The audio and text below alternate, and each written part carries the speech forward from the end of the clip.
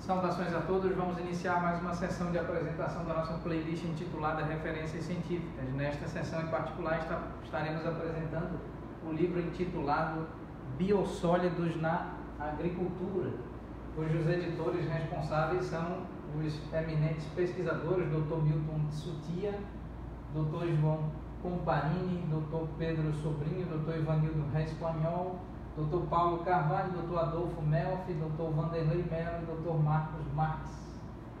Este livro é chancelado, é apoiado, é fomentado pela Associação Brasileira de Engenharia Sanitária e Ambiental, a ABES, pela Escola Politécnica da Universidade de São Paulo, Escola Politécnica da USP, pela Exalc USP, ou seja, pela Exalc é, Universidade de São Paulo, pela Unesp, Universidade Estadual Paulista, campus de Jabuticabal. Este livro foi editado durante o ano de 2002. Aqui, é, com relação à sigla Exalc, no que concerne essa sigla, é importante citar que nós estamos se referindo à Escola Politécnica da Universidade de São Paulo, é, mais especificamente com relação ao seu departamento de Engenharia Hidráulica e Sanitária, bem como a Exalc USP é exata e precisamente a Escola Superior de Agricultura Luiz de Queiroz, Departamento de Solos e Nutrição de Plantas. É, esta escola pertence também à prestigiada Universidade de São Paulo. Aqui nós temos a Unesp, Universidade Estadual Paulista, campus de Jabuticabal, Faculdade de Ciências Agrárias e Veterinárias, Departamento de Tecnologia.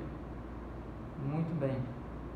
Vale ressaltar aqui o Dr. Milton é, Sutia, Sutia é, é, é, membro da Sabesp, não é? é membro da Sabesp, da Secretaria, Secretaria de Abastecimento do Estado de São Paulo, Sabesp, também como o Dr. João Camparini, é, também é membro da Secretaria é, de Abastecimento do Estado de São Paulo, Sabesp. Aqui a Escola Politécnica da USP é representada por, pelo Dr. Pedro Sobrinho e pelo Dr. Ivanildo Espanhol.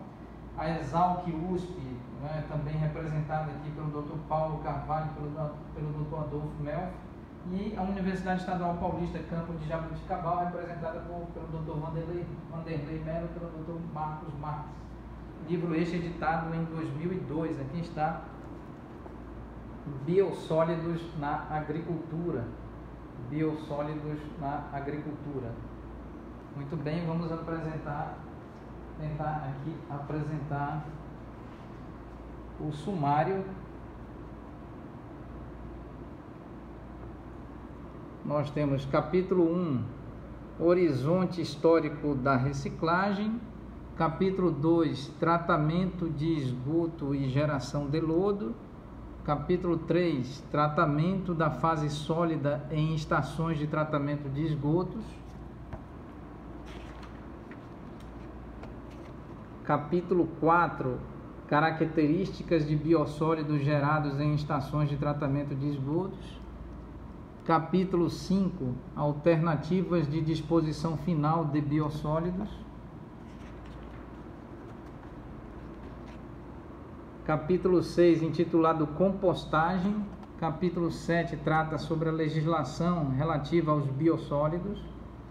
Capítulo 8 trata sobre registros da produção de biossólidos, o caso da estação de tratamento é, de Franca, do município de Franca, no interior do estado de São Paulo. Capítulo 9, impacto dos biossólidos sobre o sólido. Capítulo 10, Biossólidos, Meio Ambiente e Saúde Pública, critérios para o estabelecimento de diretrizes. Capítulo 11, o uso agrícola do biossólido e as propriedades do solo. Ainda capítulo 12, metais pesados e o uso de biossólidos na agricultura. E capítulo 13, por fim, engenharia de aplicação dos biossólidos, além de um importante anexo 1. É, muito bem, então é, agradecemos a atenção de todos vós. Em breve estaremos apresentando um outro importante, um outro relevante e interessante conteúdo científico. Muito obrigado a todos.